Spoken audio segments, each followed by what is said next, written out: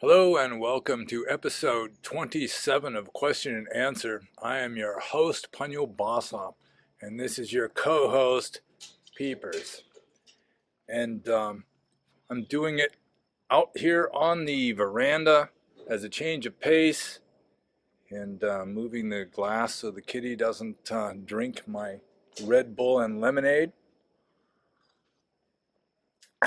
And I've got the usual longish list of good questions to try to answer. And so I'm going to try and do that with the kitty walking all over my lap. So, the first question is from Bodhisattva 969. And Bodhisattva 969 says, I have already asked several questions via email to Theravada temples or sanghas in Germany, which are mainly led and attended by Thais. Unfortunately, questions or suggestions are usually not answered at all. Hence my question, isn't there a need for dedicated people within these sanghas who also want to advance Buddhism in Western countries? Those who want to become Buddhists. Integrate those more who are interested in Buddhism too. I know Buddhism doesn't really proselytize, but isn't it worth spreading the teaching? And if those in charge are not interested in spreading Buddhism, step by step, those who are willing should take over. Well, that's that's a good question. And due to my uh, according to my years of experience living in Asian temples in the West, at least a few years, um, the thing is, Asian monks have a very different outlook on reality and on Buddhism than Westerners do. So even when Western or when Asian monks, like Burmese monks, is what I mainly have experience with, when Burmese monks try to teach to Westerners, um, there's like a culture gap. There's a culture barrier. You know, they they have like a medieval attitude towards um, towards Buddhism in general. I mean, they just consider everything in their tradition to be just gospel, and Westerners just don't don't really swing that way. Like Venerable Taungpulu Sayadaw, who was a, a great monk, a wise monk, he would come to America and give sermons, and he'd be mentioning, you know, the flat Earth floating on water and Buddhist cosmology and so forth, that most Westerners really can't take very serious, including most monks. So that's a major problem with Asian temples promulgating Dhamma, is that Asian monks have an approach to Buddhism that most Westerners um, just don't. I mean, they, they don't find it acceptable. It's just a non-starter. And there are some Asian monks who try to become fluent in English because there's also the language barrier. And, um, you know, they try, and there are certain types of Westerners, you know, just the faith-oriented Westerners who are willing to um, accept whatever they're told with regard to Buddhism from, you know, an exotic Asian monk. And, um, but I mean, it's just not going to be the majority of people who might potentially be interested in, in Theravada Buddhism.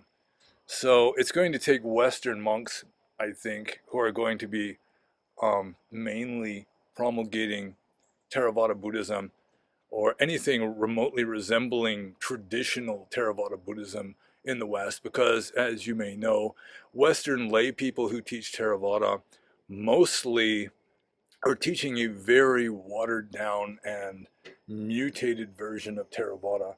And it may take uh, a mutated version of Theravada with certain things omitted, like the cosmology. At least you omit the, the part about taking it seriously um, in order for really uh, Theravada Buddhism to strike traction, to take root in the West, which it really hasn't done very well yet, I have to admit. And part of the reason for that is that uh, Theravada Buddhism is ancient Indian. It was designed to fit ancient Indian culture.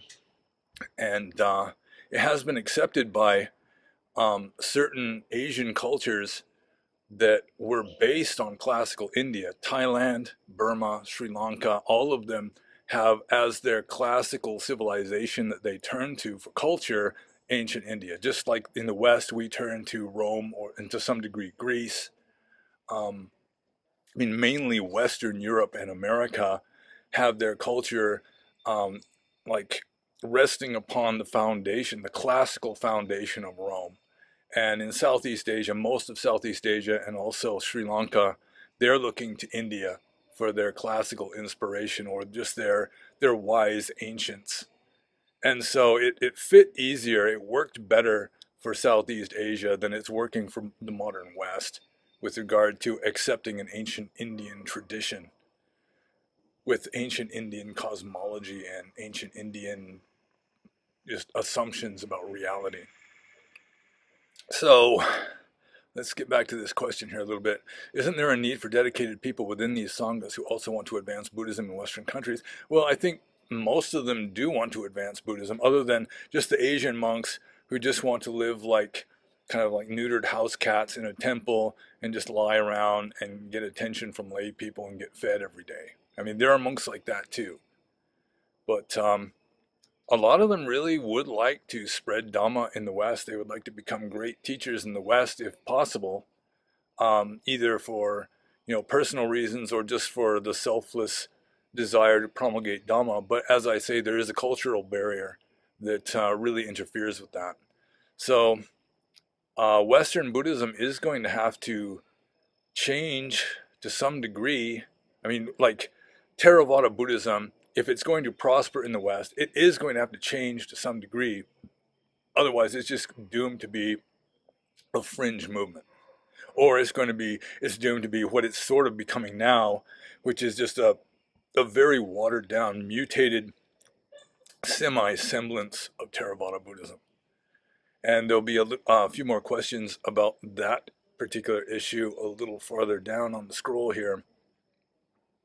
Um, but it's that's like the big issue is like what can you change what can you not change or what should you not change and uh, of course different people are going to have different ideas about that but that's not really the question here so i think i may just move on so the next question is from Nusquam.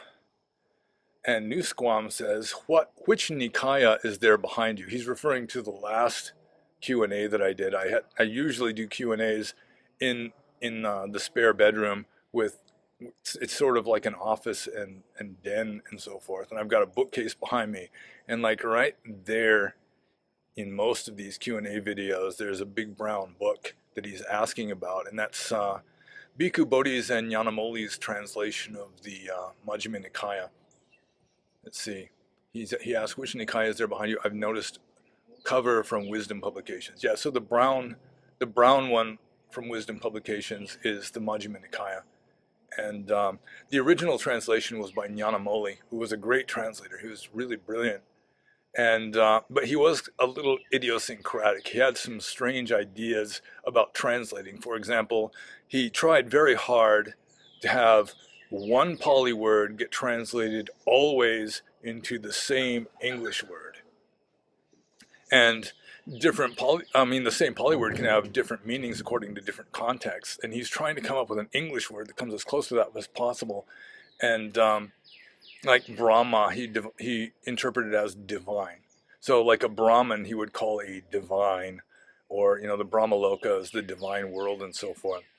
So um, that was just a little too uh, unorthodox for Bhikkhu Bodhi, who is a good translator despite his, his politics. He is one of the best translators we've got. So he just sort of made it a little more orthodox, you know, just using the usual terms, you know, sati is mindfulness, for example. And um, so he just sort of uh, smoothed out some of the some of the stranger parts of Nyanamoli's translation. But Nyanamoli was an excellent translator. And uh, it might have been best just to have left it the way it was, but there we are. Bhikkhu Bodhi has, uh, he was, he's a grown-up man. He can make his own decisions, I suppose. So yeah, the, the answer to that is it's the Majjhima Nikaya. So next question is from Joe Doe. And Joe Doe asks, do you know of any techniques to overcome sleepiness when it arises in meditation? And there are, there's at least one entire discourse um, probably to be found in Vinaya or the rules of monastic discipline, in which the Buddha is telling a monk what to do if he's if he's really sleepy. You know, he's supposed to be meditating. You're not supposed to sleep a lot. Ideally, a monk who's a serious meditator should only sleep about four hours a night.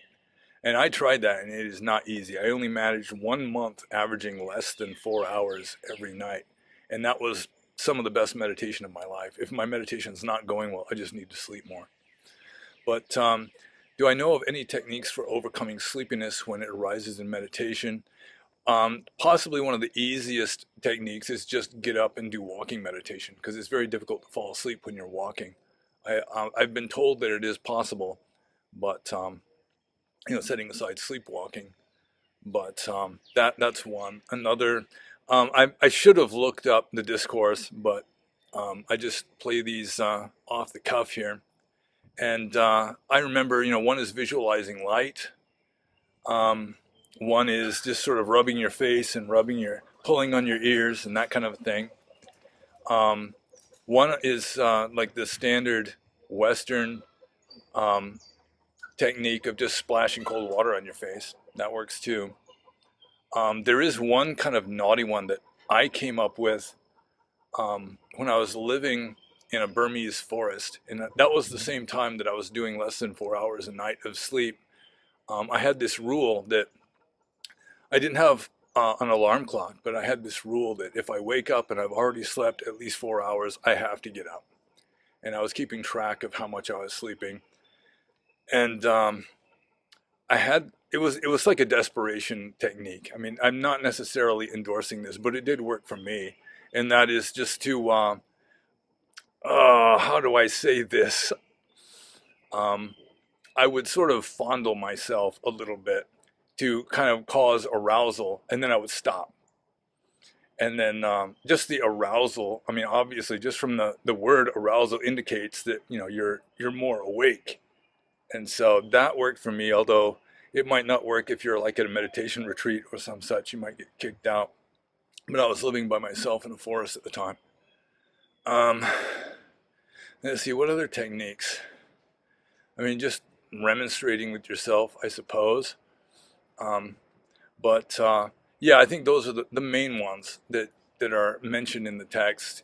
Uh, one is, is get, getting up and doing walking meditation, visualizing light, splashing water on your face or just like rubbing and pulling on your on your, your ears or you know rubbing your face and that sort of thing to kind of get the circulation going more. Um, I suppose um, getting back to that kind of arousal technique, just thinking any kind of thought that gets your heart beating faster is going to is going to help. Maybe uh, do a little contemplation of death or something. But um, yeah, if you look in the in the Pali text, there are actual discourses um, explaining what to do, and the kitty is rubbing up against the microphone like a silly kitty. So I'll just move on to the next question. And the next question is also by Joe Doe, and that is Do you believe levitation is real? Well, I do believe that it's possible. And um, I think that it probably has happened, not only in Buddhists and Hindus, but uh, there was some famous Catholic, I think he was a, a Catholic monk. He's a saint. Saint. It, it wasn't Saint Francis of Assisi, but I think it might have been another Saint Francis. It was some saint that had a, a sort of common saint name with with a more famous uh, person with the same name. But um, there was some English. I think he was some sort of English uh, minister or something like like a political minister, and um, he very much i mean he heard the rumors of this this christian monk who would levitate and so he actually hid in a closet and, and, is like looking through the crack in the door to uh, to see this this monk and he apparent according to the story he did meditate or, or levitate and then he converted over to roman catholicism and uh, i guess um, saint teresa of avila would go into such ecstasies when she would take communion which is a big deal among some Catholics because they think they're actually committing ritual cannibalism of Jesus. So, I mean, she would go into such ecstasies that she would just rise up in front of entire congregations, supposedly, according to the story. So, um, I believe anything is is possible, just about. So if levitation can be imagined, that would make it possible, at least in a metaphysical sense. So, yeah. And then Joe Doe says, cheers, mate. So, yeah, cheers. And so I'll just move on to the next question by Fred. Fred says, from what I can understand, there was no chanting at the Buddhist time. Is chanting unnecessary cognition? Well, yes and no, with regard to whether there was chanting in the Buddhist time, which is um, I mean, it depends on how you would define chanting, I guess, because in the Buddhist time there was, I mean, the scriptures were not written down. The teachings of the Buddha were not written down, and so they had to be memorized. And so there was a lot of that going back to very ancient times um, of just memorizing by heart certain teachings. And then you would generally recite it which could be called chanting as a way of not forgetting it. And I used to do a lot of a lot of that sort of thing. Although I've forgotten pretty much everything except the Metta Sutta and a few little bits and pieces. Um, but with regard to actual chanting, like in a in a sing-song voice, I mean, you're not using a regular conversational tone of voice like I'm using now. Um, it's actually against the rules of monastic discipline. A monk is not supposed to recite in a sing-song voice, even though Lots of them do it. In fact, some Burmese monks that I have I have met will actually cultivate their own peculiar sing-song voice when they chant as a kind of hallmark, you know, sort of their own personal gimmick. And the kitty's rubbing up against the microphone again. Yeah. So let's see, where was I? Oh yeah, the chanting. So technically chanting in a kind of sing-song voice is actually against the rules, even though plenty of monks do it. Um, with regard to uh, just reciting um, in a in a for chanting purposes, like like for not just for remembering something or you know reciting it to someone else so they can hear it is you know sort of like protection chants and so forth and they go back to ancient times i mean it's i mean one can debate whether the buddha himself originally taught that you should chant the metta sutta to protect you from spirits, for example, or that you should um, chant the Khandha Sutta or recite the Khandha Sutta to protect, protect you from like snake bites. But they are found in the text, like the Khandha Sutta is found in Vinaya or the, the book of books of monastic discipline, that some monk was bitten by a snake and died, and so the Buddha taught the Khandha Sutta, which is sending metta and blessings to all beings, including legless ones, which are snakes. And uh, according to uh, the text, you know, if you chant the sutta, then um, you won't die from snake bite. Even if you are bitten, you will survive.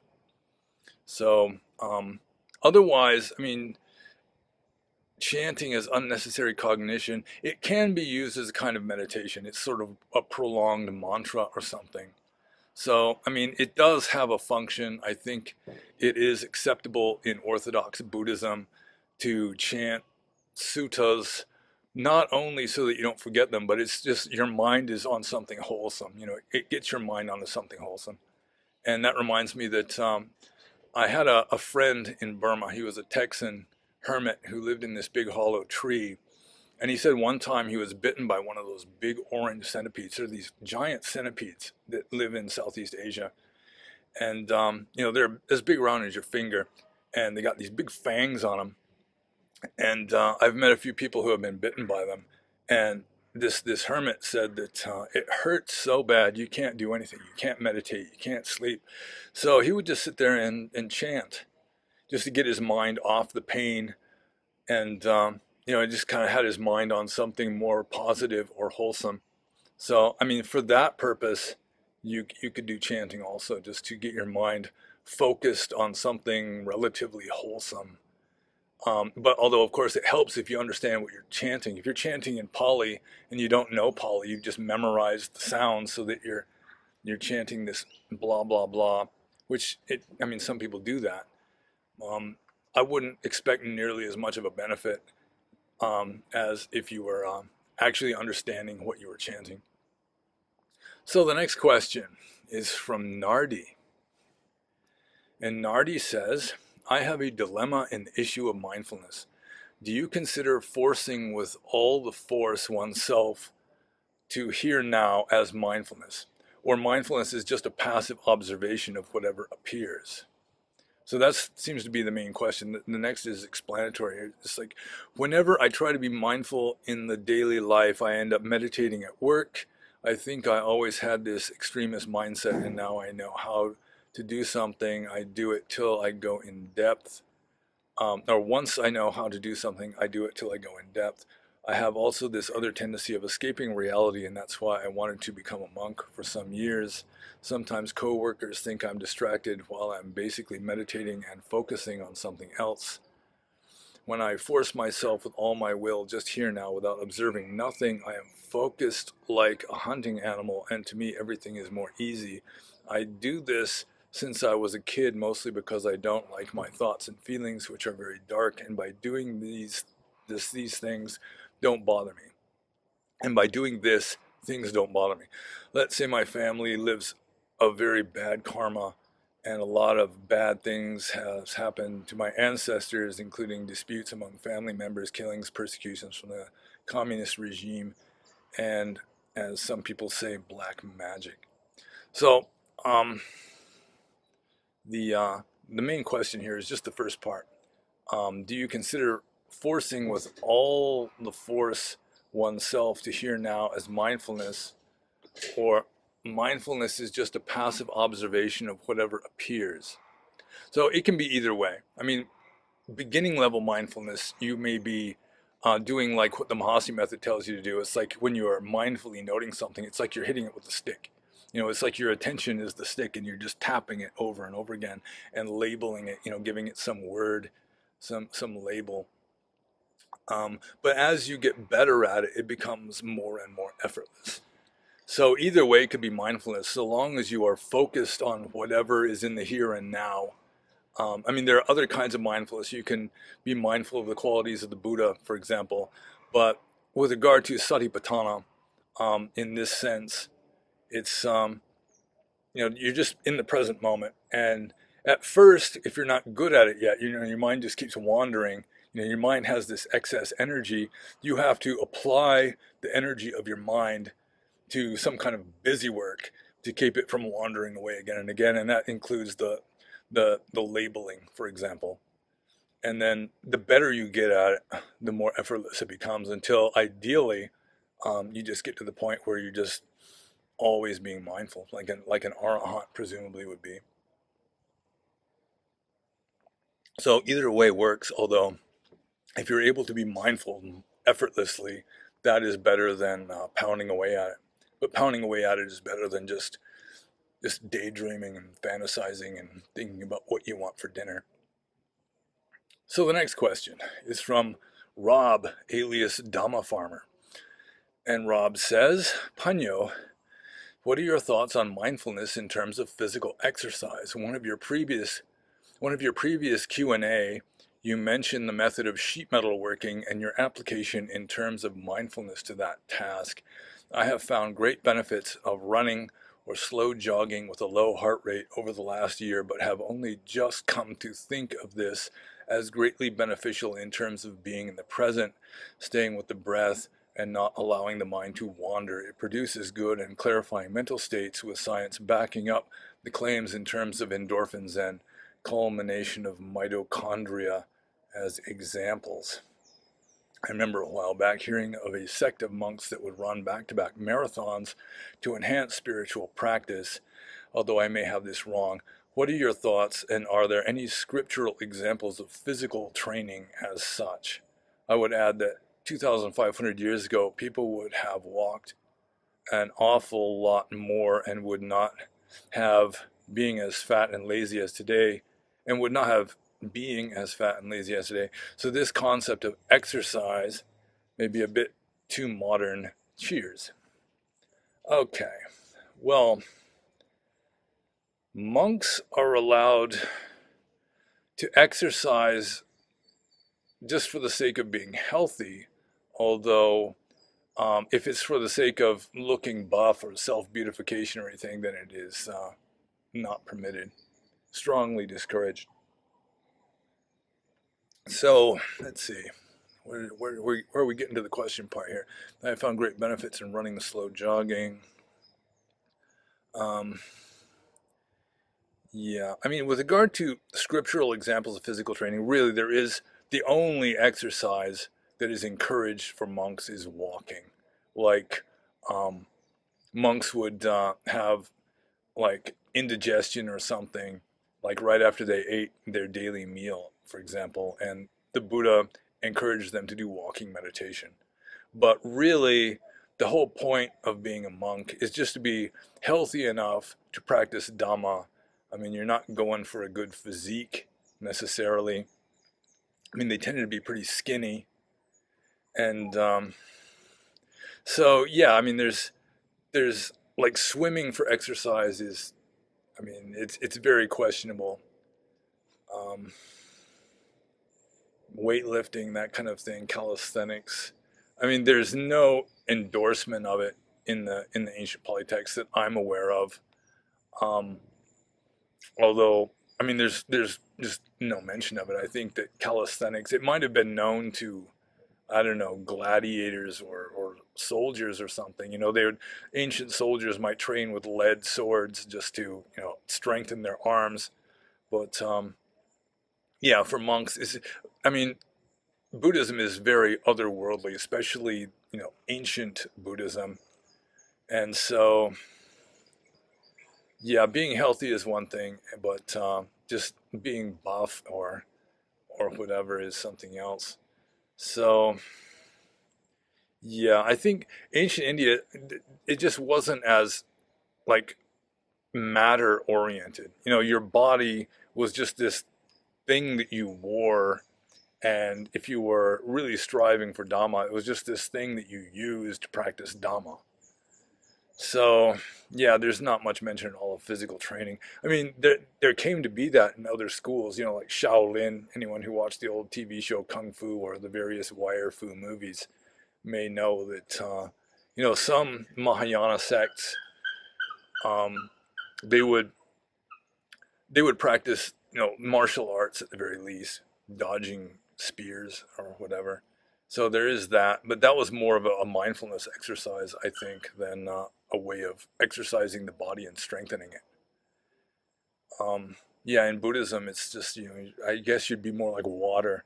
You know, the strength of water, like the Tao Te Ching, more than you know what is hard and is brittle and breaks, but what is soft and and flows. You know, it's it's more flexible and uh, less likely to be damaged or something. So, yeah, I guess uh, I guess that kind of answers that question. There's really not much mention of uh, physical exercise, you know, as you know, for the sake of fitness in in the text. It's just, uh, I guess that's more of a modern concept, or uh, if it's pre-modern, it was uh, for gladiators and things that were really this worldly instead of you know striving for something beyond this world. Uh, and one of the dogs is crying. And we'll get to that. We got a question about dogs coming up. So I think I'll just move on to the next question. And Rob, alias Dama Farmer, says, I've been sitting, oh, I've been sifting through the older Q&As and playing catch up on missed episodes. I found myself in hysterical laughter in some parts, especially when you read the pee pee poo poo gay butt sex questions from a bizarre commenter with a straight face. It got me thinking, what is the most stupid question you have ever been asked? Also, what is the most bizarre or excommunication level thing anyone has ever asked you to do? Loving the Q&As, books and content. Sincerely, thanks and metta. Um, let's see, what's I guess this is a two-part question. So what's the most stupid question you have ever been asked? Well, as the saying goes, there are no stupid questions. There are only stupid people.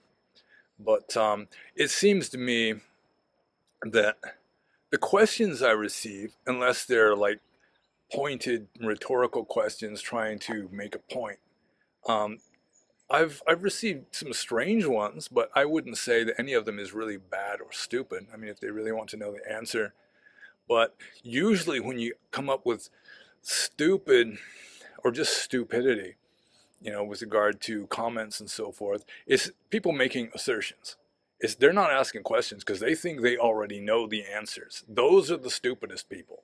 The people that are so sure that they know everything, or at least everything, you know, that's relevant at, at the moment.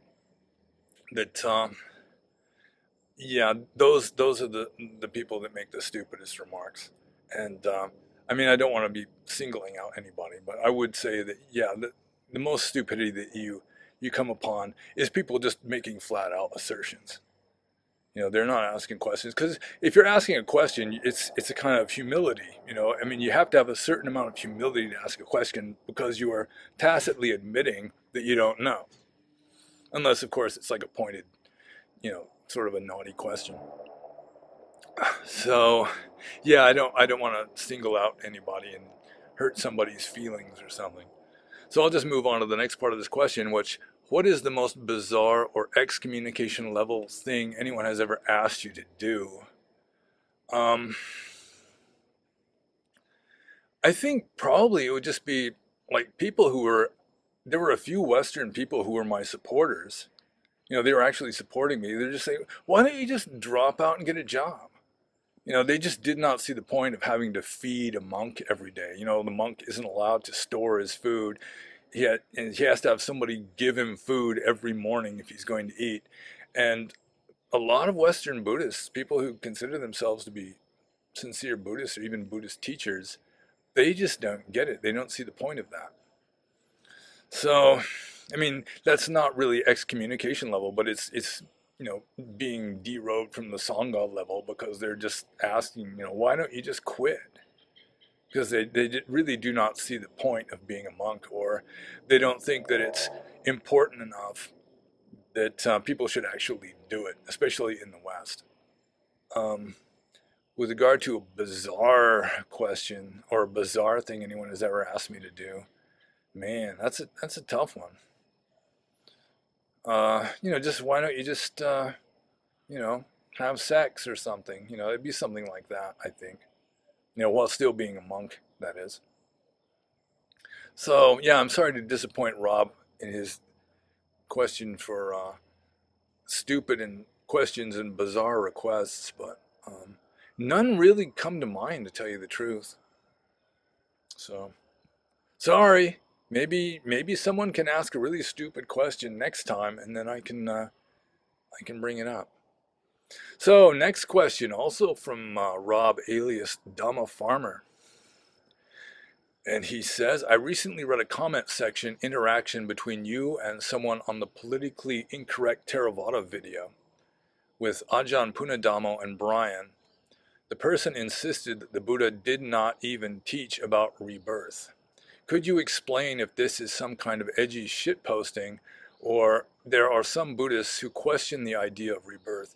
By all rights, if you don't believe in rebirth, then the vast majority of the Buddha's teachings are automatically invalid for that individual. Thank you. Well, as it turned out, just a few nights ago, I watched a debate between Ajahn Brahmali, I think is his name, and Stephen Batchelor on traditionalism versus secularism in Theravada Buddhism. And it was a good debate. I would I would recommend it. Maybe I might even include the link below this video. Um, but Stephen Batchelor considers himself to be a Buddhist. He's written books about it. He's, he was a Buddhist monk. I think he was a Tibetan monk for a few years, at least. He knows a lot about Buddhism. He just doesn't believe in rebirth. And um, it seems weird to me that, I mean, on the one hand, Buddhists believe in the First Noble Truth to exist is to suffer. But if you don't believe in rebirth, then it seems like the, the logical, obvious thing to do would just be to commit suicide. Not that I'm advising anyone to commit suicide, but that would just seem to be the logical conclusion. You know, if to exist is to suffer, and you want to be free of suffering, and there is no rebirth, well, there you go. But uh, yeah, apparently a lot of Westerners. I'm, I, I assume I have probably met at least one Asian Buddhist who didn't believe in rebirth. But I mean, there's a lot of it in the West. It's it's called secular Buddhism, I think. And Stephen Batchelor was saying you know, maybe the Buddha was just, uh, you know, he was a product of his culture. The culture believed in reincarnation, and so he was just going along with that, and it doesn't necessarily make it true, which was, I think, is kind of a, a weak argument because, I mean, if you don't want to follow what the Buddha said, I mean, nobody's forcing you to be a Buddhist, especially in the West. So, I mean, if he wants to believe some spiritual system that doesn't include rebirth, why doesn't he just, you know, follow his own idea and not necessarily call it Buddhism? So, I think a stronger argument, which might have got him to uh, win the debate with Ajahn Brahmali, um, is you, you start with a text like the Atthakavagga, like the, in my opinion, the oldest large chunk of really archaic early Buddhism that still exists is the Atthakavagga of the Sutta. And it's not dealing with metaphysics or rebirth. It's, it's just dealing with the practical, you know, in this moment process of waking up. And it's don't believe anything. Don't, I mean, don't, I mean, if, if you believe something, it's practically delusion because belief is the idea that you know something that you don't really know. So, belief, um, I mean, just concepts are not really not going to encapsulate reality. They're not going to contain reality other than just the underlying reality of, of the consciousness, uh, just underlying the, the belief. But um, perception is samsara. So, I mean, if you wanted to really be a Buddhist that didn't believe in rebirth, I mean, you shouldn't disbelieve in rebirth either because the Atthakavagga, which is, as I say, is very ancient, very archaic, um, it says don't believe anything. So if you disbelieve in rebirth, that's just a belief in non-rebirth. It's still a positive belief, just couched in negative terms. Um, so then, then the onus would be on the person who's saying that uh, you know all the other stuff added on, where where it is talking about rebirth and so forth, is uh, just later additions you know, that cropped up during the first hundred years or so of uh, Buddhism as a, as a, as a religion or as a philosophical or spiritual system. So, yeah, I think if you are a Buddhist and you don't believe in rebirth, then, I mean, you shouldn't believe in anything. Then you'll be following what the Atthakavagga teaches anyway. But if you're believing this and that. I mean, you're just picking and choosing the parts you want to believe. I mean, you should have a really good reason for rejecting something. Like Abhidhamma Pitaka, there's a list of reasons I've written down elsewhere why it's unlikely that the Buddha himself taught Abhidhamma, even though it's the third Pitaka of the three Pitakas, you know, the, it's the third part of the Pali Tipitaka, the scriptures of, of Theravada Buddhism, but still there is quite a lot of persuasive evidence that the Buddha didn't teach Abhidhamma personally. It's sort of like a, a, commentary that got canonized, like around the Third Council. So that would be uh, at least a couple hundred years after the time of the Buddha. So, yeah, let's see. I, I suppose I should go back to this question. I, sometimes I, I kind of answer at length until I've forgotten the exact question here.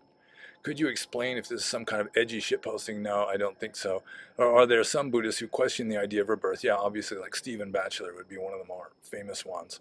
By all rights, if you don't believe in rebirth, then the vast majority of Buddhist teachings are automatically invalid for that individual. Well, the vast majority of the teachings of the Pali Canon would be, yeah. And the Buddha himself, in really ancient texts, does mention rebirth. Like um, the second sutta of the of the Digha Nikaya, which is just the second sutta of the Pali text, you know, the second discourse of all the Buddhist scriptures, is um, the Samannaphala Sutta, where the Buddha is um, telling King Ajatasattu the, the, the fruits of living a monastic life or the life of a renunciant.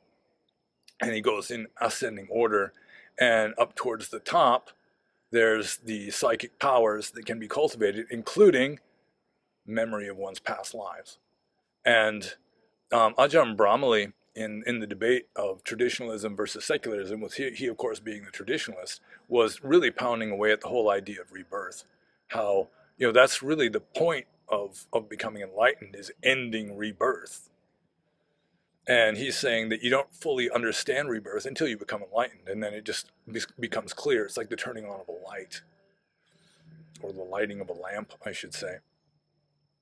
So, yeah, I mean, if you don't believe in rebirth, you don't believe in karma, you don't believe in dependent co-arising or whatever. I mean, nobody's forcing you to be a Buddhist. Just believe what you want to believe. But uh, you should be careful about um, calling yourself a Buddhist while at the same time believing in some cases maybe the exact opposite of Dhamma. And there is a lot of that in the West lately because cultural Marxism or emancipatory politics or progressivism or whatever you want to call it is infiltrating pretty much all of the liberal leaning religious systems and turning it all into, you know, like Black Lives Matter and global warming and, and gay pride and this sort of thing to the point that like modern leftist uh, Unitarianism, modern leftist Methodism, and modern leftist Theravada in the West resemble each other more than they resemble the original versions of those three systems. So, yeah. So I'll just move on to the next question. This is also from Rob Dhamma Farmer, who has many questions, which is good. I'm not complaining. And he says, Was the Noble Eightfold Path primarily aimed at lay people rather than monks? I don't think so, because early Buddhism was aimed primarily at monks. I mean, the Buddha tossed a bone to the lay people sometimes.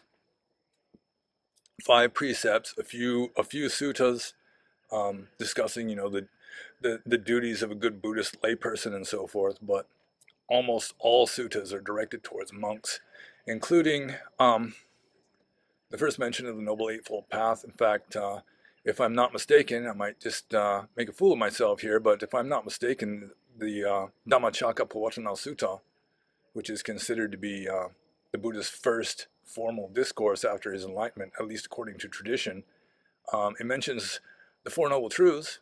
So the Noble Eightfold Path is uh, the elaborated version of the Fourth Noble Truth. So, um, yeah, I mean, it's Buddhism was originally primarily aimed at monks.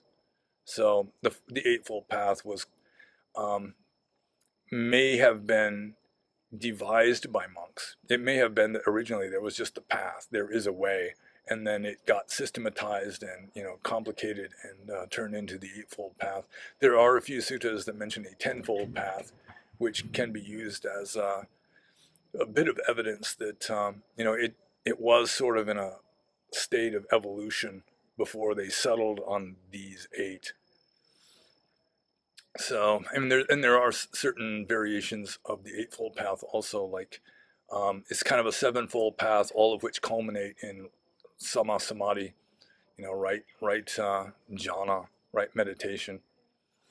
So, yeah, the, I guess the easy answer to that question is uh, Was the Noble Eightfold Path primarily aimed at lay people? No, I don't think so. So, the next question from Rob Dhamma Farmer Can the non renunciant spiritual loner make progress? Uh, yeah, anybody can make progress. I mean, even, you know, somebody's like, uh, they got lots of bad habits, even though they're a non renunciant uh, layperson. Um, just you know cleaning up your act. You know maybe you start watching jordan peterson videos and and he just you know inspires you to to uh, clean your room and all that. Uh, take more responsibility for your own self your own successes and failures and all that then uh, yeah. And some people can uh, make progress just accidentally. You know you have somebody you know they're a selfish person that very superficial and so forth and then they get cancer maybe they almost die in a car wreck. You know, somebody close to them dies, and that can just really get them thinking about, you know, I'm not going to live forever and I shouldn't waste this life. And then they can really make progress. So, yeah, anybody can make progress. It's just that being a monk was designed originally as a way of facilitating making progress because you're dedicating your life to making progress. You're not dedicating your life to making money and so forth, with the making progress part being sort of around the edges of all this necessary bill paying stuff you've got to do. So, yeah, I mean, that's an emphatic yes, definitely. The non renunciant spiritual loner can make progress. I mean, I made progress before I became a monk to the point that I was really inspired to become a monk just because I wanted to make more progress. But um, yeah, so the answer is yes. So I'll just move on to uh, Rob Dhamma Farmer's last question here. And he's saying, I'm sure you will be identified for supervisory qualities at the job soon enough. He's referring to my job at the sheet metal shop. He's uh, being very complimentary. Hypothetically, if you landed a position in which man management was required, then what orthodox Theravadan qualities or teachings would you apply to your daily role as a leader? I am taking notes as I have to manage people daily, but never considered them to be much leadership Dhamma teachings other than the qualities of kings, etc. Thanks again, Rob. Well, equanimity is good. You know, I mean, if you're frazzled under stress, it's going to make you less of a good manager than if you keep your head under stress. You know, things, you know, the shit hits the fan at work and, and you just, you know, keep your calm and, and get to solving things instead of, you know, just getting sucked into it and, you know, yelling or whatever, then yeah, I mean, that would, that would help you. Just the cultivation of equanimity. Um, honesty, obviously, you know, if, if you live a, you know, you're like an upstanding, more or less virtuous person, you're, the people that are working for you will, you know, unless they're totally insensitive, will pick up on that and have more respect for you, be more willing to do what you ask, especially if they are confident that you're going to have them doing something that isn't wrong. So, yeah, I mean, it's, it's like any kind of leader. Um, if he's got the respect of the people that he's leading, he's going to do a, a better job as a general rule than people that just consider him to be just a, a jerk. And there are a lot of leaders like that, a lot of jerks that are leaders. I'm fortunate not to have jerks as my leaders at work. In fact, one reason why my job is as um, I don't know why the, why the business is as in as good of, of a situation as it is is that the the owner of the business is an evangelical Christian who takes certain virtues, including not swindling customers, very seriously. And um, just yesterday, I had a customer. I was loading stuff onto his his vehicle with a forklift, and um, he he said that uh, you know some some places you go to, you, you just feel unwelcome, but here I feel like everyone cares, and that was nice. And um, yeah, people think that uh, you know you got compassion and honesty and, and so forth, and you know it's just it's not something that in specific that you're cultivating. It's just that uh, just through practicing Dhamma and just generally cultivating yourself, trying to make spiritual progress, it's gonna it's gonna rub off on other people. So, and just try to be fair, obviously. So I don't know how well I answered that because I'm really not a, a manager. I was the abbot of a monastery for a while, but um, I don't know. I think um, being a a warehouse manager or something might be a little different. But there would be some overlap, I guess. So the next question is from the Arya Swasti Project. And the Arya Swasti Project says, Greetings, Panyo. In Hinduism, as you probably know, uh, recognize yugas or age of time. Does Buddhism recognize something like this? And would you say that we are in a Kali Yuga or some other factor of time? Much respect, Sadhu. Well, yeah, Buddhism has adopted the, the ancient Indian you know, cycles. And um, so there are yugas. Um, whether we are in the Kali Yuga or not is questionable. Some people just, you know, have no doubt we've got to be in the Kali Yuga or an age of spiritual darkness and so forth. But I'm pretty well acquainted with history, and I don't think things are really all that awful. I mean, people aren't very religious in the West, but still, I mean, you've got fewer psychopathic kings and emperors, and fewer cannibals, and and you know, fewer uh, dacoit infested forests where you know you got to have you know soldiers accompany you in order to keep you from being killed and robbed or whatever. Um, but the, the, the main thing for me is according to Buddhism, when you're in like the golden age, people live astronomically long lives and it's all justice. You've got like the Chakravartin, the, the wheel turning monarch who rules the world in peace and virtue. And then things gradually get worse and worse after that. And accompanying the things getting worse and worse spiritually, the the lifespan gets shorter and shorter until you're down to like I think it's like what 14 years, 7 years, something like that. People start cannibalizing each other, things get really awful. And of course, um, you know, that's not happening now. In fact, I would say over the past few hundred years, um, the average lifespan has been increasing instead of decreasing. So it could be that these ages, I mean, they're not just a uniform decline. It could be like you go down like this, and then you got like a, a little upsurge, sort of like global warming is supposed to be doing or something. You know, it's it's going a certain direction. You got a little jog, and then it goes the other way, and then another jog. It could be that we're in a jog. I don't know. And the kitty is uh, being very, very friendly or bored or something. So let's see. In Hinduism, I'll just read the question again. I want to make sure that I get this. In Hinduism, as you probably know, recognize yugas or age of time. Does Buddhism recognize something like this? yes, yes? And would you say that we are in a Kali Yuga? Um, I really don't think so. I don't. I mean, from the Hindu point of view, yeah, because everyone says so. But in the Buddhist point of view, um, I mean, spiritually, maybe we're we're doing worse. Although it's hard to say how well off spiritually like a medieval European peasant was. You know, they had their Catholicism, they believed it without question, but were they happier or wiser or better off than us is hard to say because you can't really get into their mind other than maybe read some of the stuff that they wrote. And it was only the really educated people that were writing stuff because the uneducated people didn't know how. So, yeah, I've thought about this before. I'm just going with the, the Buddhist description of the decline into like the worst of the, the Kali Yuga. I don't think we're even close to that yet. So we got something to look forward to. And I'll just move on to the next question. This is from Shakragosha.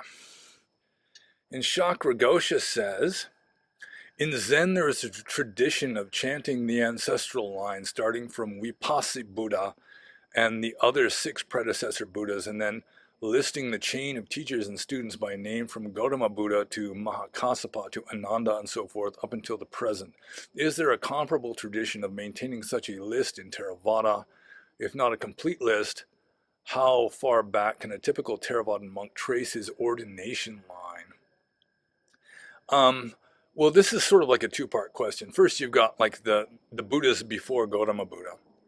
And um, there is a text in the Pali Tipitaka called the, the Buddha Vamsa, which I'm pretty sure covers the 28 Buddhas. You know, it's 27 before Gautama. I think the Gautama Buddha was 28th in this you know, universal cycle. And then there's going to be Maitreya after that.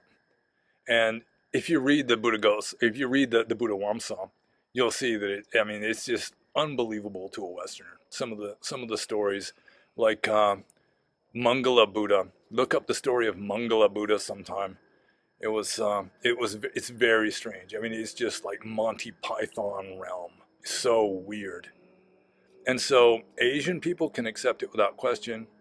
Um, Westerners generally cannot unless they're just the type that's very faith oriented and uh, are willing to just accept what they are told from you know a revered teacher or whatever. Um, and really, you can't say that there is a chain of these Buddhas because, I mean, there's no lineage, there's no succession because Buddhism or Dhamma has to completely die out before the next Buddha arises and he rediscovers it. So it's not like a transmission from one Buddha to the next. It's just that, um, you know, Buddha dies out, it's discovered, rediscovered by a Buddha, and then it dies out, and then it's rediscovered by another Buddha, and then it dies out, and so forth. With regard to the patriarchs, yeah, I, there really isn't a lineage of patriarchs like there is in Zen. You know, you've got, I, I can't remember the number of Indian patriarchs, and then you have the six Chinese patriarchs. Um, and then uh, who knows? I mean, it may be that Chinese or, or Zen monks in general or Mahayana monks may have a, like a more elaborate lineage. You know, it's like the Tibetan monks will trace their lineages back to uh, Nagarjuna or Padmasambhava or something. Um, with regard to my tradition, I mean, I was ordained in the Taungpulu tradition. Taungpulu was um, he learned his meditation technique from uh, it was uh, Miga Seattle. I don't even remember the his uh, Pali name, but uh, that's about as far back. I mean, you could you could research it and go back maybe a few more teachers beyond that, or like like Goenka. I mean, most Goenka teachers or most Goenka meditators know that, that Goenka was a disciple of U Ba Khin. Uba Kin was a disciple of some monk whose name I don't remember. They probably know it. And he was a disciple of Ledi Sayadaw, who was a great scholar Sayadaw back uh, about 100 years ago. And um, who Ledi they might know who Ledi Sayadaw was a disciple of, and maybe two or three beyond that, tops. And other than that, it's going to be mythology and just uh, guesses and so forth. So, yeah, it's, it does exist, but it's not nearly as important as in some other traditions. And um, yeah, there's like the entire lineage um, may have been broken for all we know. Like uh, in uh, Sri Lanka, the Sri Lankan lineage was uh, the Sangha was uh, pretty much invalid because so many monks were parajika or uh, you know raising families or getting married and so forth. So they weren't really monks, and any ordination that they performed would be invalid. And it was like that, and so that um, they had to send for real valid monks from from Burma and Thailand to get the Sangha going again in Sri Lanka. So um, you, you, don't know if that sort of thing has happened like late ancient times, early medieval times. Um, you know, it's just, it's all lost to, uh, lost in antiquity. So um, I guess, I guess I answered that one. How far back can a typical Theravada monk trace his ordination line? Well, he knows what tradition he was in. If his teacher was a disciple of, of another teacher within the same tradition. Usually you know all the, the lineage within your own tradition. Uh, back to the founder, and you may know who the teacher of your founder was, and maybe the founder's teacher's teacher, but then it generally just gets obscured and lost. So the next question is from Chaplin, and this one is similar to one that I already answered, so I may answer this one in a somewhat abbreviated form. But Chaplin says, What is up with the Western Buddhists in the comment section of your last YouTube video declaring that the Buddha never taught about reincarnation and slavery didn't exist in India but was European slavery? I think Chaplin means here. It is true that these Western self-declared Buddhists do believe in everything that Buddhism is not. Do you see any way, any help or way forward into the land of authentic teachings for this, these misguided plebs? Um, well, some of them may see the light. I mean, if you practice, you're going to get wiser. I mean, that's the purpose of Dhamma practice. It can be said that that is the purpose of Dhamma practice, is to cultivate wisdom. And so you may have foolish reasons for meditating at first. You know, you want psychic powers so you can impress that, that girl in history class or whatever. But then if you practice correctly at least, even though you have sort of questionable motives at first, then you're going to make progress and then your, your motives will get wiser. So, I mean, that that's possible. Um, yeah, getting back to the Western Buddhists, I'm, I'm not sure that the one that was talking about slavery was even a Buddhist. He was just kind of a, one of those Western um, authorities on Buddhism. Um, yeah, he was saying that there was there was no slavery in ancient India, and saying that there was no word for slave in Pali, which was dasa. And um, now he was saying, no, Dasa was in reference to some, like the, the Aboriginal ethnicity of the people living in northwestern India, or at least a, a Aboriginal, an Aboriginal ethnicity. And, um, and I, I just pointed out in a, in a blog post responding to this that, uh, you know, the English word slave uh, is pretty much the same as the Pali word dasa, that slave is derived from the word Slav that slave and Slav are etymologically the same word because the Slavs were enslaved so much in like early medieval times. You know, they were a subjugated people that were sold as slaves that it just became almost synonymous. And that's the way Dasa was. Like the Rig Veda talks about the Dasa or the Dasyu as these little brown snub-nosed people that were being conquered by, by the Vedic speak, Vedic Sanskrit speaking Indo-Aryans. Um, and so Dasa just came to mean slave, just like Arya came to mean noble or like the ruling class. Okay, and then with regard to the Buddha never teaching reincarnation, I have no idea how this person came up with that one because it's just throughout the Pali text. It would, must be like a lot of Western Buddhists who are willing to believe that the Buddha was enlightened or at least very wise, so that anything in the text that they don't like has to be fake. It has to be added by, by later monks. You know, it's just corruption of Buddhism because obviously the, the enlightened Buddha would be teaching, you know, what Western leftists are saying now. It's, it's that kind of mentality as far as I can tell, at least with regard to a lot of them. And so, yeah, I mean, some people are so superficial and so selective in their Buddhism that they may not make very much progress at all. And so, um, oh well. I mean, it's it's probably been this way for a long time. Like um, I read some chronicle of, um, or not necessarily a chronicle. It was one of those Chinese Mahayana monks, a Chinese Buddhist monk who came to India to find books of monastic discipline that he can take back to China for the benefit of the Chinese Buddhists. And um, he claimed that at near Bodh Gaya, there was a, a monastery dedicated to all the Buddhas except Gautama. And they were their lineage was started by Devadatta, who's like the Buddhist Judas Iscariot. So, I mean, there's been these kind of distortions and heresies in Buddhism for a very long time.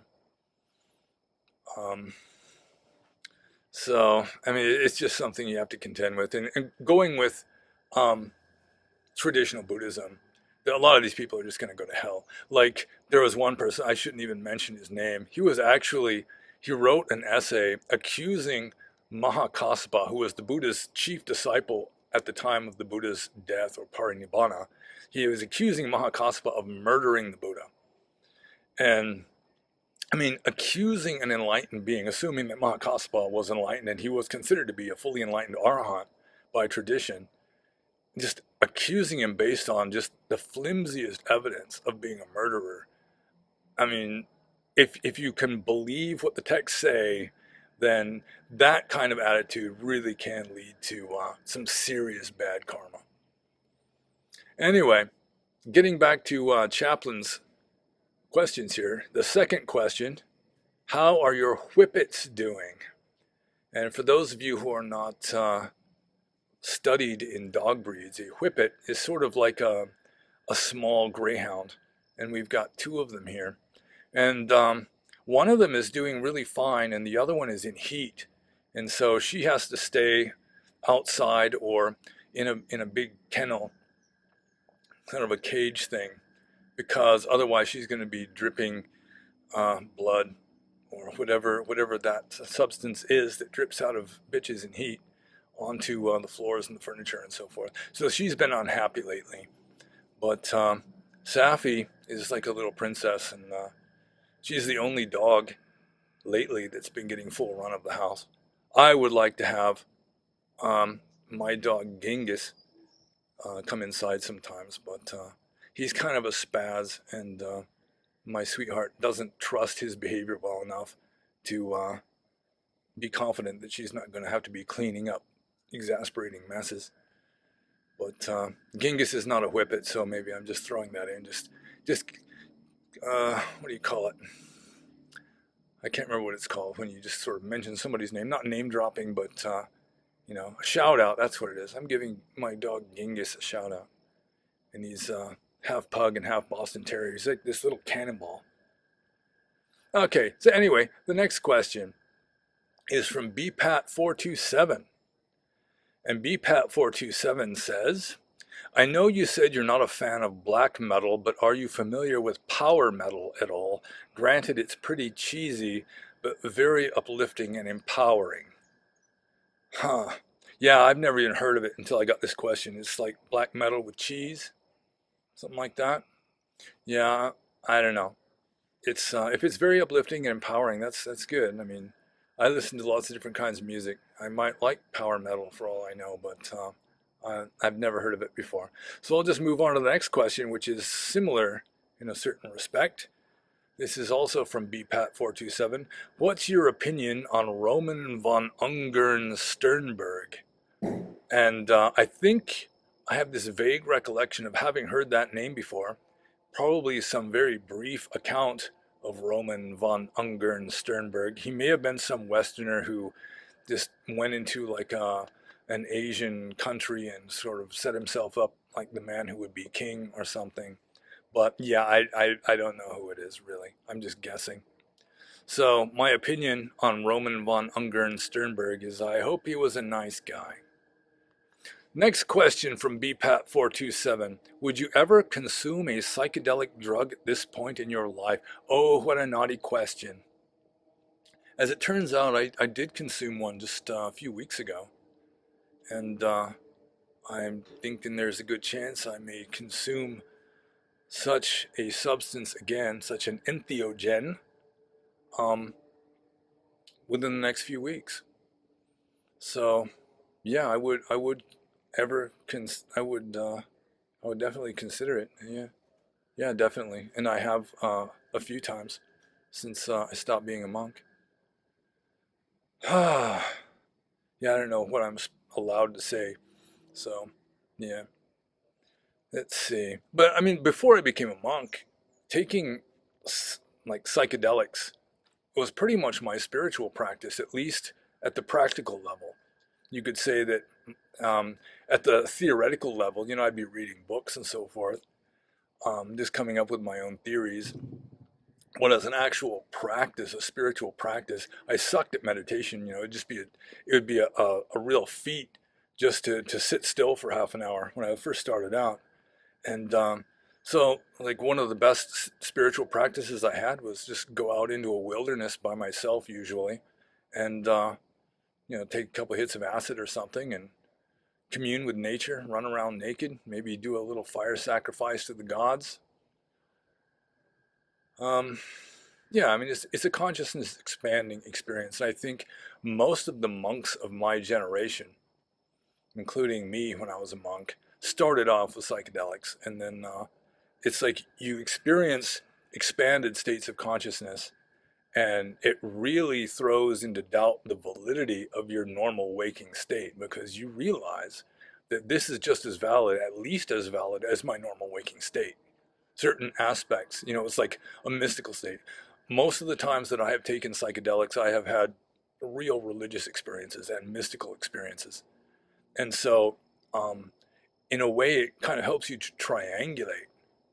You know, it's like you've got more than one way of looking at reality and um, so monks would, or people before they became monks would, would start with psychedelics and then they would try to find some way of cultivating those same states of expanded consciousness uh, without the use of the chemical. But um, it's, it's taking the substance as a general rule is more reliable. It may not be quite as wholesome, but it's more reliable because you take the, the little tab of paper or whatever and you got a pretty good idea that there's going to be something happening. Whereas with meditation, some people just naturally suck at meditation. They're just not very good at it. And it may take years of really strenuous effort to get to the same level of expanded consciousness that you could get just from taking one or two hits of acid or whatever it may happen to be, ayahuasca or something. So, yeah, this may be TMI. It's, a long answer to a short question. So I'll just move on to the next question, which is the last question, not only from BPAT427, but from everybody this evening. And you, as you can see, it's nighttime now.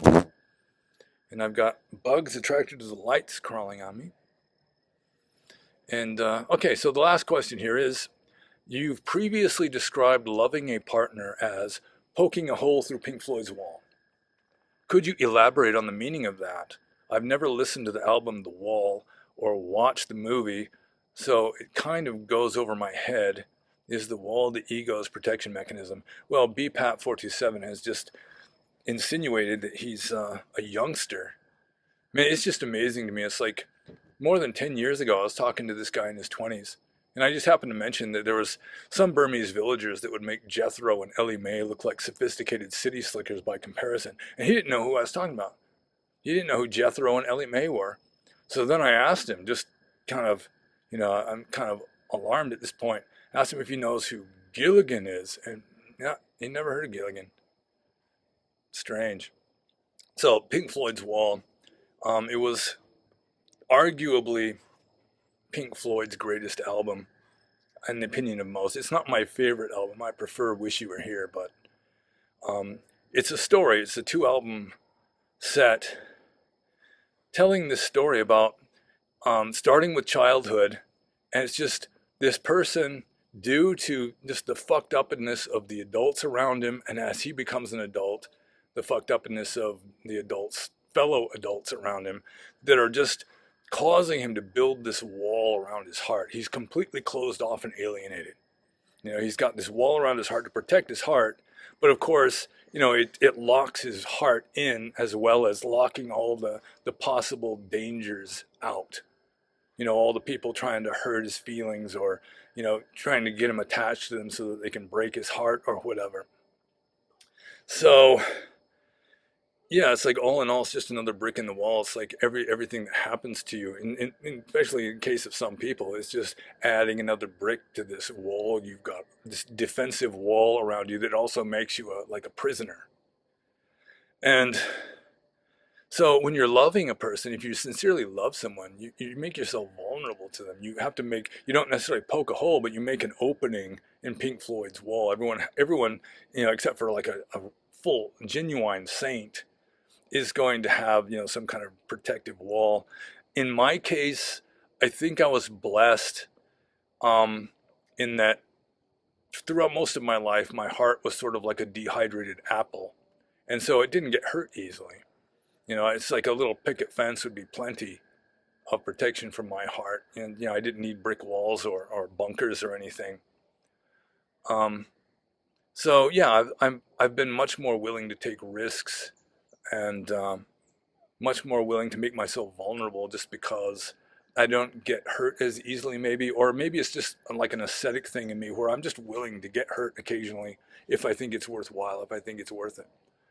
So I guess that's that was uh, a blessing for me. I mean the the the heart like a dehydrated apple maybe is not so great, but um, uh, I've been working on that. That's been one of my main uh, my main avenues of progress in this life is cultivating compassion and love for my fellow human. Because for most of my life, I loved trees more than I loved the average human being. And um, but I, I seem to be digressing here. So I mean, when you love somebody, you're in a way you're you're breaking down the division between self and other. You know, it, you just become an us. It may be that two people, like let's say there's two delinquents that just madly fall in love with each other. You know, they might break down the wall between themselves, but they still got the the double the wall around both of them or something. And um, but still, I mean, just to be completely closed off and alienated is is not a good way to live your life. And a saint would have no sense of self. They would have no purpose for a wall. So like a fully enlightened being, I assume, has no no alienating self defensive fortification around his heart but um, the average person maybe can't go that far. So at the very least, you, you break down that wall towards one other person. And, um, you know, that's, that's healthy because to that extent, you're breaking down the, your, your alienation and you just your concept of I, me, mine.